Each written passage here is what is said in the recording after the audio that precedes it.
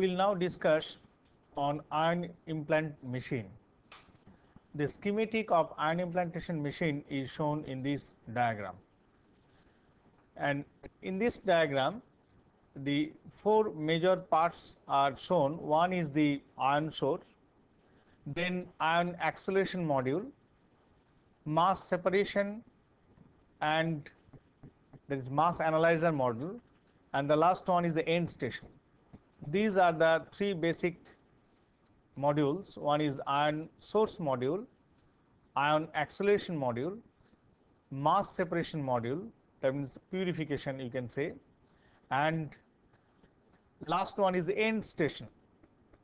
And at the end station one is the beam sweeping and other one is a substrate holder. That means target holders so these are the end station. Now details of individual block I will discuss. The first one is the ion source. The ion source may be gaseous and may be solid in case of ion implantation technique. If is a gaseous source then the amount of gas flown into the source that can be adjusted and uh, through adjustment of the orifice through which gas comes into the chamber. So, after entering the chamber there there will be a, a, a, a this discharge tube and that uh, this arc discharge tube is there. So, in the arc discharge module the gases will dis, uh, discharge and it will form some of the ions as well as neutrals. But if the ion source is a solid one then you have to vaporize then the solid vapor is basically uh, those solid vapors enter into the the arc chamber and then it will ionize. That means the ion source means in the ion source chamber you have to create ions. That means from the gaseous or the solid vapors by these discharge phenomena arc discharge phenomena ionize. For example if i use the bf3 gas then if we ionize we can get boron ions we can get bf2 ions we can get the fluorine ions okay? And you can get some neutral atoms also. In case of similarly arsine or phosphine, we can guess we can get uh, the hydrogen as well as some electrons and the arsenic or phos uh, phosphine ions. Okay. Now, the gas flow into the arc chamber is adjusted by the small orifice and that orifice is, is basically uh, in this particular ion source module is there from the cylinder gases is, are coming and then then they are charged and there uh, the in the in this arc discharge tube the breakup of the feed gas into variety of atomic and molecular species will take place to ionize some of the species. And there some of the negative ions also will be formed. And those negative ions are not used for ion implantation purpose although they are not much in number but they have to be separated out from the ion beam and the positive ions which are created in the ion source those are of much interest and those positive ions are attracted to the exit side of the source chamber which is biased at a large negative potential with respect to filament. Okay? And that means the only I want to extract only the ions. That means the extract chamber the uh, uh, through which the uh, these uh, the ions will come if I keep it at a extreme negative potential then obviously the negative ions will not be extracted there. Only positive ions will be extracted. And those positive ions after taking out from the ion source they are entered into an acceleration chamber. That is the second one. The gas pressure into the ion source are normally kept within the range of 10 to the power minus 5 to 10 to the power minus 7 torr and the maximum ion current inside the ion source is few milliampere. So, so after ions are formed, your next job is to select the desired implant species. As I told you, the implantation species will be not only the positive ion, some neutral ions will be there, some negative ions will be there, some neutrals are not ion basically, neutral atom. Neutral atoms will be there, some negative ions and electrons will be there. And along with some other undesired impurity ions may be there which are coming from the uh, impurity of the gas. Okay? And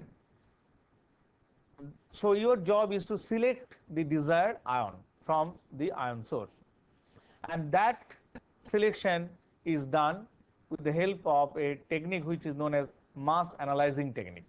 Now, the schematic of the, the, the, this drawing, uh, the drawing of the ion implanted machine is shown in this particular diagram you can see here.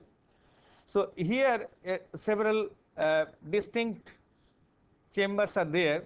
One is the ion source here and through which the gas gas is uh, inserted here in this particular orifice. And as I mentioned the size of the orifice is changed here. And this is the arc chamber. And this is the exit side through which gases are the ions through which ions are extracted. And that is kept at negative potential. That is the second method is a means for their extraction. First is the ion source, next one is the means for their extraction. And the next one is acceleration. So that means just after extraction, the energy uh, of the ions may not be that much so that it will travel a distance. After extraction, you have to accelerate the ion. And very simple way of acceleration is to apply negative potential in their path, path. Gradual, gradually, if you increase the negative potential, so that will be accelerated more and more and it will follow a path.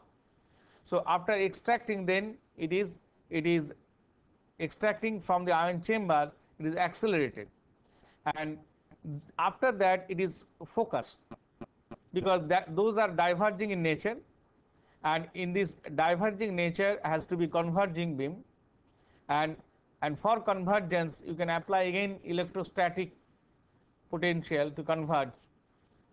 And after convergence then it enters into a mass analyzer. Okay? Mass analyzer is a is a very important important module in case of a ion implanter.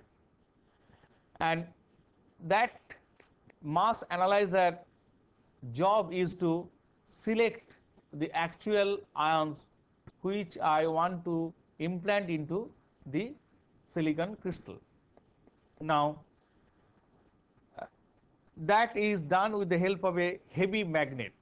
So that is a basically the magnet because the ions are charged particles and they will be they will be deflected by magnetic field also okay and this deflection is that means they will follow a different path after if the ions are subjected to a magnetic field depending on the magnetic field the ions will follow different path. Okay? And this is given by a relation which is nothing but m v square by r is equal to q b v. Just i can Uh, write down that relation you can see and that relation is given by m b square by r is equal to q v b. And the r is given by m v divided by q b which is again written as this 2 m by q v e x T and this is a is extraction potential. This Vxt is is extraction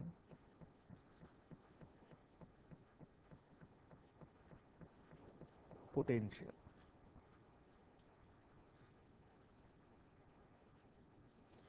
Now, in this relation, m is mass of the ion and v is the velocity, r is the radius, radius of curvature it follows, q is charge and the v is velocity and b is the magnetic field. This is the magnetic field.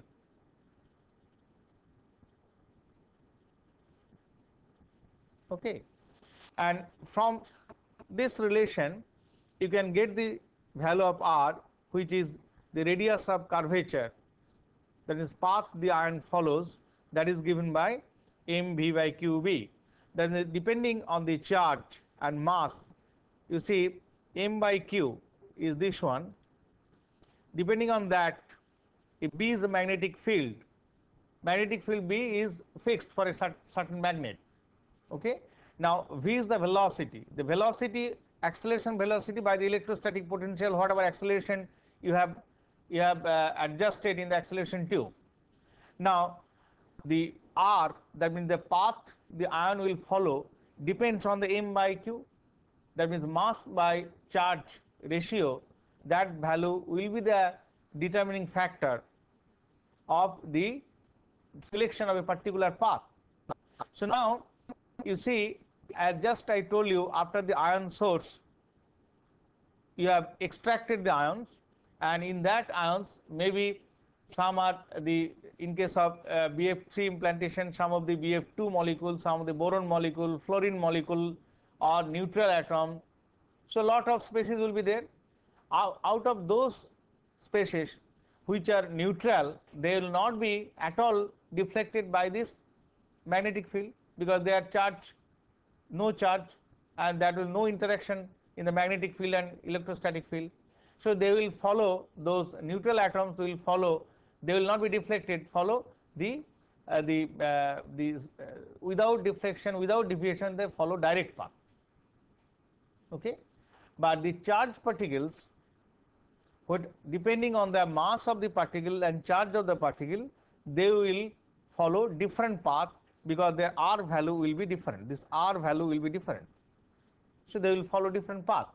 And this is the principle which is used in the mass analyzer. Okay. Now come back to this drawing here. So just after the mass analyzer, again they they they they, they travel through an acceleration tube, acceleration tube.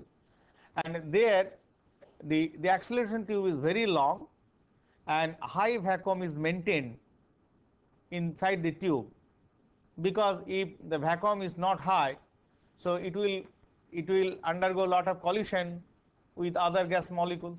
So their energy may be lost, and so that uh, the acceleration acceleration chamber is this one, this acceleration chamber vacuum is maintained of the order of 10 to the power 6 torr okay so that the collision will be as minimum as possible.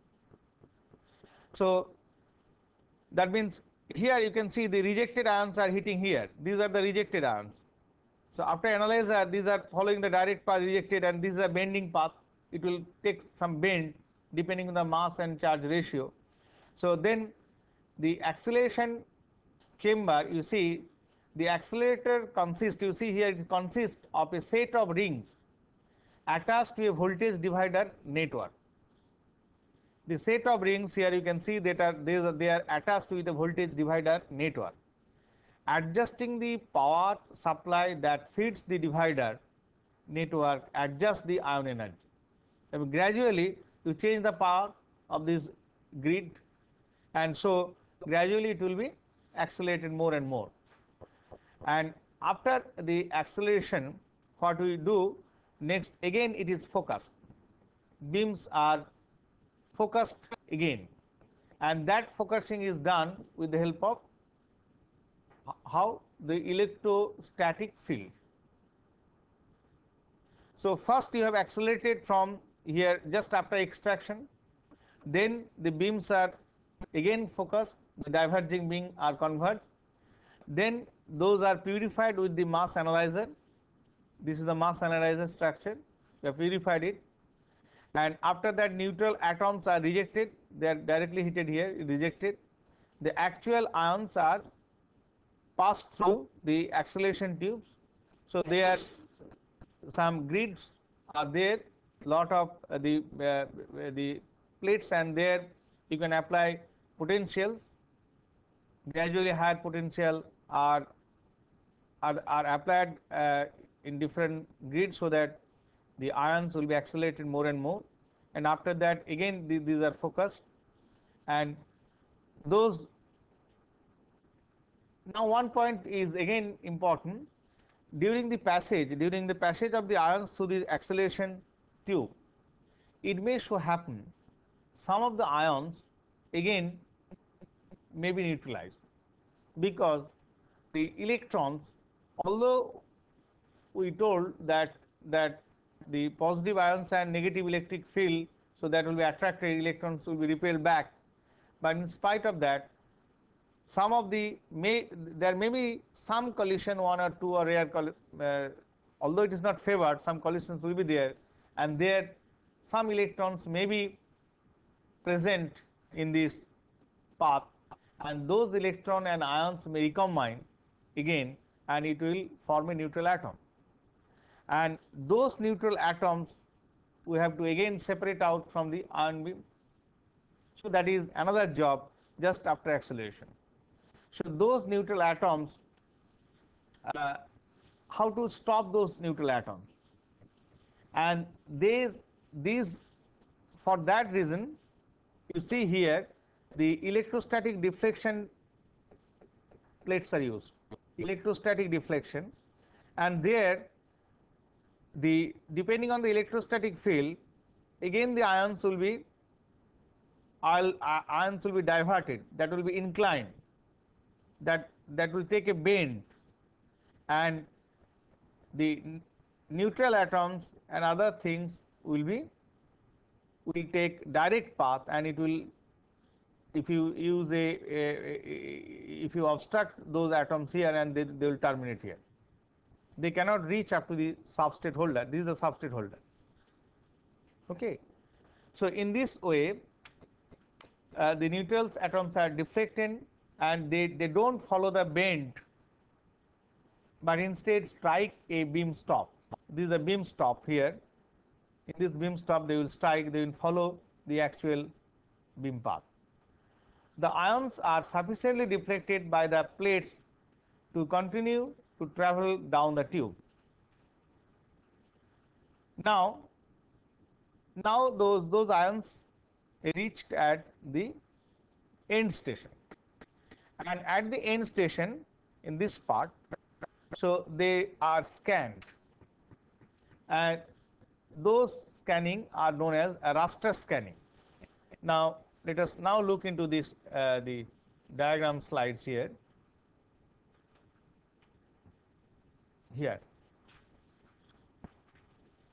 If you look into this presentation here, you can see the these beams that means end station it has reached the end station and these are the wafers. Now on the wafers, if wafers are fixed, say it is a 4 inch diameter or 6 inch diameter wafer. So on the wafers, uh, these ion beams has to be has to be scanned otherwise it will be implanted on a particular point. If we scan the beam, so over the surface the implantation will take place. Now, there are two types of uh, uh, rastering or scanning is shown here. In the first one, first figure, you see there is a the vertical deflection plate and a horizontal deflection plate. Just like in a CRO you have, you know, so, for deflection of the cathode ray beam we use two plates one is vertical deflection plate one is horizontal deflection plate and there the cathode rays are deflected, but here the ions are deflected. So, you can apply potential here in this plate so that the beam will be deflected in this direction in vertical direction and these two are the the deflection will be the not vertical but horizontal direction. Okay. The electrostatic rastering commonly used in medium current machines. And there after after scanning the wafer complete scanning the wafer the next wafers will come. So after scanning is over then the next will come like that. One by one wafers are coming. In this case depending on the dose each wafer takes considerable time for completion of the implantation depending on the dose. Okay. And the second one is another sort of scanning. There the the one uh, the beam direction is not here you can see the one deflection plate that is horizontal deflection plate is used only. There is no vertical deflection plate. And here the wafers are fixed over a over the circumference of a rotating rotating uh, plate. This plate is rotated you see. And at the circumference of the plate the wafers are arranged in this fashion. And the beam is incident on any of the wafer and the now scanning is only horizontal direction. So now if it continuously rotates and only horizontal direction is scanned then you can see that at a particular time more number of wafers will be scanned and implantation speed will be higher. So, in the second technique the throughput of the machine will be higher. The semi electrostatic scanning used on some high current machine okay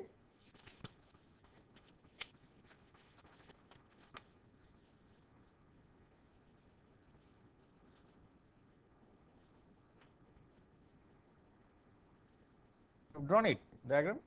So now these two type of scanning mechanism are found in different machines. For medium current to use vertical and horizontal scan and for high current sometimes the second technique you use that is semi electrostatic because here only horizontal scan is used no vertical scan. Now next point is uh, the dose how to control the dose this is the energy is controlled by the energy of the acceleration tubes. So, by that now how the dose is controlled? Dose is controlled by use of a uh, dose is controlled at the end station by use of a take, uh, by use of a module which is known as a Faraday cup. Faraday cup, and in the Faraday cup is nothing but a cage. So in that cage, the the cage captures the ions and it terminates if the cage is grounded. So then the cage captures the ions and it is grounded. So that means ground to cage there is a current flow. The how much ions are captured by the cage depending on that the current will also change and this will give the dose. More and more ions are captured by the cage the dose will be the more that is known as a Faraday cage or Sometimes it is called the Faraday cup that is that is placed at the end station. Okay. The ion current measured by ammeter by ammeter between the Faraday cup and the ground and for a 6 inch diameter wafer typical implant current is in the range of microampere to few tens of milliampere.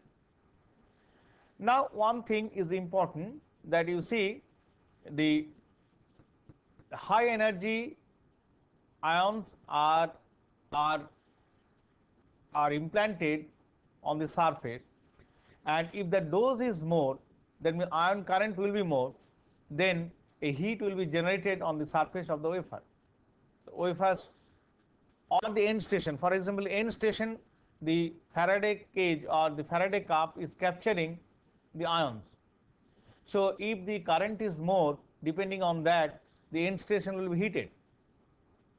And if end station is heated, then the problem is the sometimes as I mentioned this sometimes the photoresist is also used as a mask material and if photoresist is heated after uh, beyond certain temperature then that photoresist is very difficult to remove. In case of photoresist masking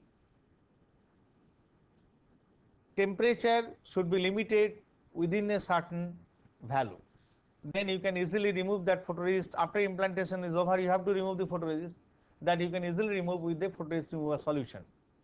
But if the photoresist is heated for some time at a temperature of 300 to 500 degrees centigrade then that photoresist will will be difficult to remove from the surface and it has been shown that this uh, photoresist when heated uh, nearly 400 to 500 degree centigrade, then outgassing also will take place because photoresist contains some uh, organic as well as some carbon material also. So, those carbon uh, will make a complex on the surface and those carbon complex is very difficult to remove from the surface. So, what is to be done? For high dose implantation current will obviously higher. So, in that case the nearly 500 degree centigrade heat will be generated and the energy is nearly 15 kilojoule. So, a cooling arrangement is to be made at the end station so that the power uh, so that heat dissipation will be there and it will not be heated much. So, all end station that is a cooling arrangement in implantation machine. Okay? And this cooling arrangement, the main purpose is to reduce the end station temperature so that you can go for photoresist masking. Okay. Next is annealing. I mentioned earlier also that all implantation is followed by annealing. During implantation, you create damage and layer will be amorphous and that particular layer cannot be used for device purpose, device applications. So, you have to remove the damage and the semiconductor material is to be recrystallized that is done with the help of annealing. And after annealing you will get back the electrical activity. That means the conductivity or the mobility is attained, you can get it back after annealing process. Furnace annealing causes appreciable redistribution of impurities. Furnace annealing means diffusion furnace or annealing implantation, uh, uh, sorry, oxidation furnace you can use same furnace for annealing. Actually, uh, for annealing is separate furnace, not the furnace structure is similar to oxidation and diffusion furnace. The controlling part, the arrangement is similar to that, but the same tube is not used for annealing. For annealing, a special tube is used.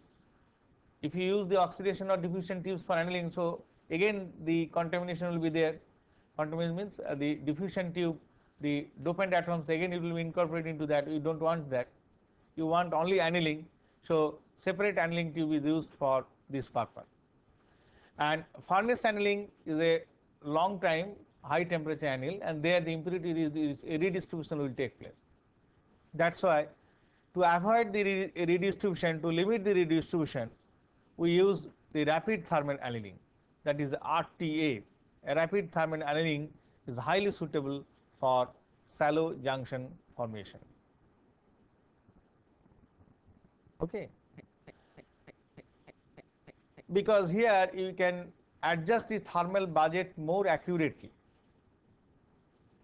Rapid thermal annealing is is much advantageous because at a high temperature you anneal it for a shorter time, very short time and that time is nearly uh, 30 second or 60 second or 1 minute like that. But if you do the same thing in furnace your annealing temperature, annealing time is about half an hour approximately. So, uh, the rapid thermal is suitable for shallow junction VLSI. Now, here I will show a schematic diagram of an isothermal rapid annealing system. This is this uh, heat pulse. Heat pulse is a is a uh, model name of a uh, rapid thermal annealing system. So, here you can see uh, the this is the uh, quartz isolation tube. These are on which you can keep the substrate. This is the substrate wafer. You can keep here. And here another dummy wafer is kept to monitor the temperatures.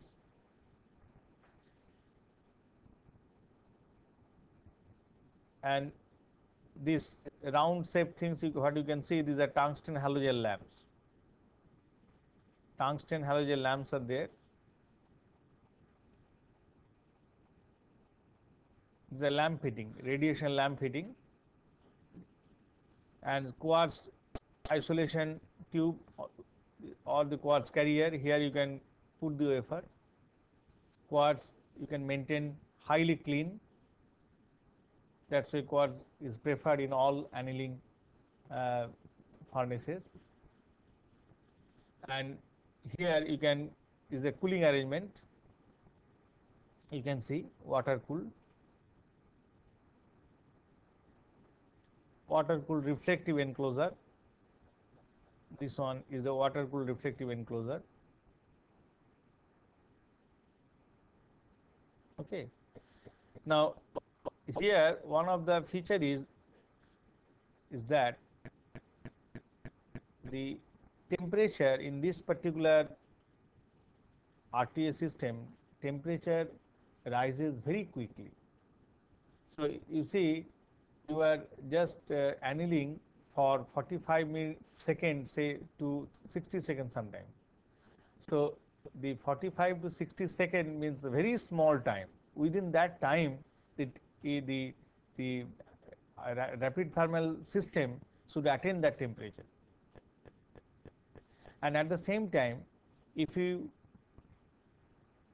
if you want to uh, before taking out the sample it has to be cooled down because outside room temperature is nearly 25 degree centigrade and inside temperature of the rapid thermal system is say 1000 degree centigrade you want to annihilate. So, 1000 degree centigrade to 30 degree centigrade again you need annealing time is nearly say 1 minute or say sometimes 45 second. So, after 45 second if you have to take it back to the room Uh, ambient environment of the room. So, obviously a thermal shock it will experience and it will crack. So, that means you cannot take out the sample immediately after annealing and and the cooling arrangement in a in all rapid thermal system is extremely important and very difficult construction because here only the water cooling will not help you. The temperature will raise from room temperature to a certain level. Say that level is say maybe 900 to 1000 degree centigrade. And after say 60 second or 40 second that you can adjust, the timer you can adjust, that means the lamp will be switched off. And this lamp is the source of heat. So the, the lamp will be switched off after that timer and at the same time you have to cool down rapidly from 1000 degree centigrade to the room temperature or little bit above the room temperature. For that inside that chamber a blow of nitrogen is sent high pressure nitrogen or argon gas all uh, all uh, since uh, your uh, annealing time is critical that means is a long, not long time annealing. Annealing time is uh, in the range of say as I told you seconds, sometimes 10 seconds, sometimes 20 seconds is done also. In some of application you need 20 seconds or 30 seconds of annealing. So, just after the 30 second automatically a, a, a surge of nitrogen gas will be there inside and that is that is you, you cannot open the chamber also because if you open the chamber it will come into the outside environment. Inside the chamber it is closed and there some the nitrogen blow or surge arrangement should be there immediately after the, that that um, desired time of annealing. Okay. Some automatic pneumatic valve should be there. And and uh, the whole outside chamber the quartz isolation tubes and the periphery that has to be cooled also. And that is done by low uh, by cold water. And that cold water is again sent through a chiller. The water temperature is brought down by chiller arrangement maybe say uh, 4 5 degrees centigrade nearly 6 7 degrees centigrade in that range temperature range. Water is sent through the uh, circulation pipes in the quartz isolation tube. So that means the cooling is very very critical in case of this rapid thermal annealing system. And at the same time you see the heating is done uh, from the tungsten halogen lamp. So that is depend on the, the tungsten halogen lamp will be in full efficiency, efficiency and you need then you have to send the current very high current and here the uh, the supply of the rapid thermal annealing system because because you are sending a very high current of the 100 milliampere sometimes 80 milliampere current through this uh, the, the lamp uh, request for getting 1000 degree centigrade temperature. And another is reflection reflecting arrangements inside the tube is also important. Because the if reflective arrangement is not proper a lot of heat loss will be there. Okay. That's why so the schematic diagram is so simple but the actual equipment is not so simple. It is a very complicated equipment and highly expensive also. Because of this this critical control and critical uh, situation. That means one is criticality is the the cooling arrangement, another criticality high current requirement, requirement, and another critical thing is you should not during the annealing you should not have any other ambient gas because you have to evacuate. Then you have to purge with uh, the either nitrogen or argon. You can annihilate, annihilate in neutral gas ambient. Otherwise, uh, the silicon will be reacted with that. Okay, and very good temperature controller and the timer. These are all very critical. Okay. Now let us see the the profile in a, a unimplanted profile after annealing in a furnace anneal and this rapid thermal anneal. So here the just after implantation we have annealed and you, you can see the this is the depth and the furnace anneal is this one and the Pearson IV distribution and laser anneal. The dotted curve is Pearson IV distribution curve theoretical and the solid curve is experimental curve profile measurement. that is this profile you can measure with the help of the RBS method I mentioned in diffusion class and RBS method basically it plots count versus the sputtering time. So that is that will effectively give you the the doping concentration versus the depth. Depth is uh, also shown in the upper scale.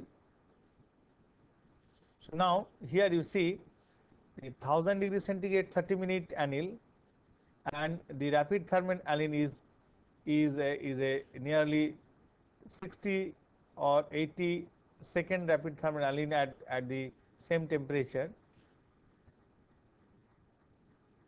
there the profile how the profile changes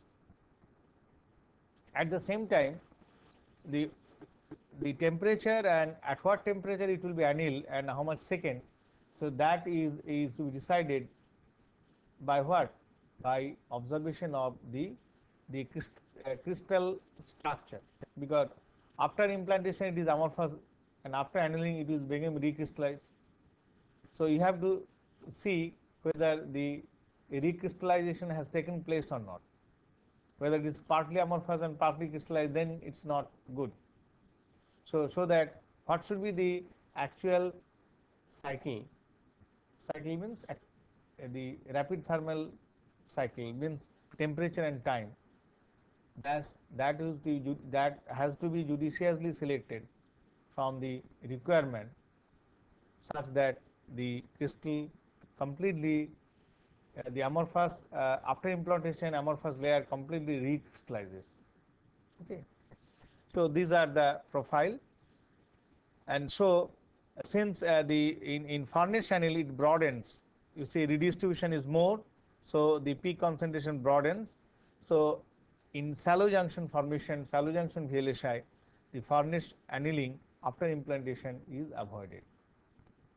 Okay rapid thermal annealing, annealing is preferred. Now, next I will discuss one of the application of the ion implantation. That application is shallow junction formation.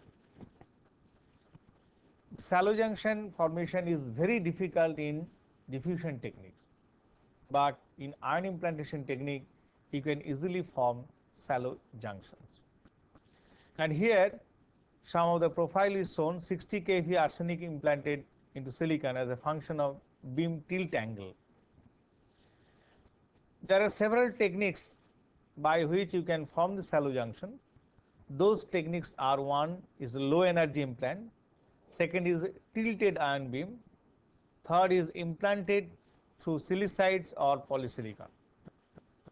These are the techniques normally used in formation of shallow junction. Out of that, the low energy implant and tilted ion is related to this ion implantation implanted through silicides or polysilicon or dope, uh, uh, silicides or polysilicon again I will discuss this particular thing in a separate class. The low energy, then if you reduce the implantation energy, then you can always have lower junction depth. But at the same time, you cannot reduce the low dose. The dose should be higher. For example, in a MOS, the source and drain is highly doped region. That means high dose, low energy implantation is important for shallow junction formation. But if you reduce the energy then maintaining dose very high is rather difficult. That is one of the problem. So, low energy high dose implantation is again a area of investigation and area of research nowadays for making shallow junction formation. The reason is the implanted machine, if you reduce the energy to say 5 kV or say 10 kV, then you cannot maintain easily that much amount of dose. Because you see dose is just controlled by the the capture of the ions at the Faraday cage. And more capture of the ions means more dose. For that you need more acceleration of the ion. More acceleration means energy will be more. Energy will be more. If energy is more means then again the it, there is a probability of higher junction depth. Those are related. So if you want to at the same time energy low and dose high high dose low energy implantation is rather very difficult technique. And special ion implanter machine is evolved day by day to have this shallow uh, to have uh, high energy uh, sorry low energy high dose implantation which is required for shallow junction formation. And the second one is tilted ion beam. So, if uh, the ion beam is tilted then what will happen? Then then it will it is very high if the angle of the implantation is very large compared to the critical angle then there is not at all channeling isn't it and in that case the complete amorphization over a shallow layer will take place.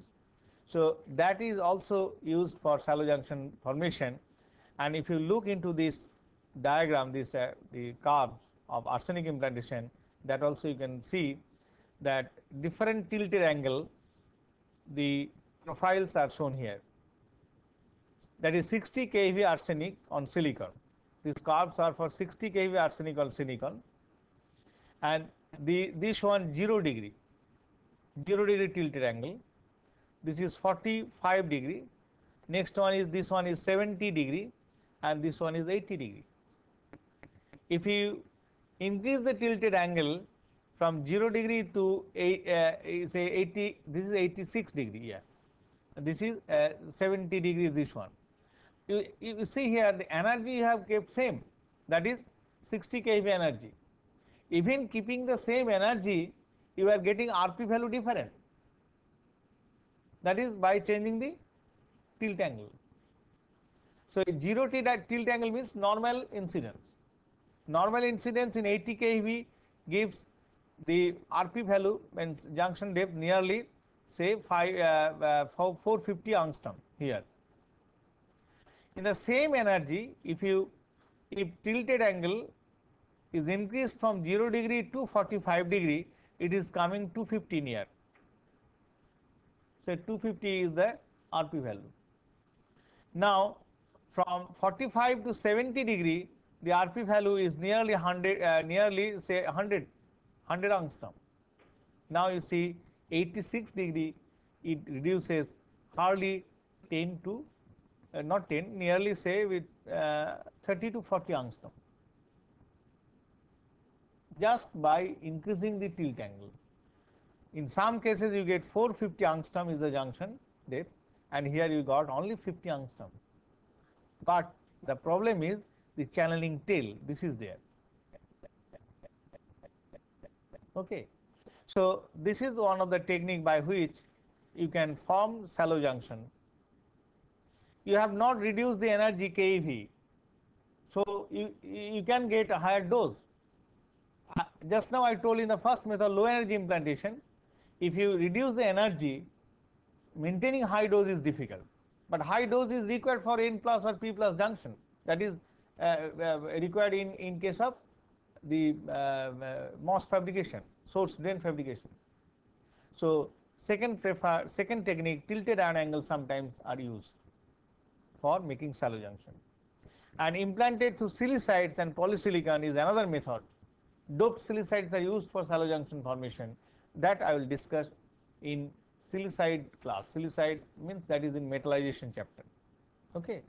So, with this let me stop today and the next class I will discuss some of the more applications of ion implantation and those applications are one of the uh, uh, major application in SOI technology, CMOS technology, this high energy ion implantation is used for making it buried collector.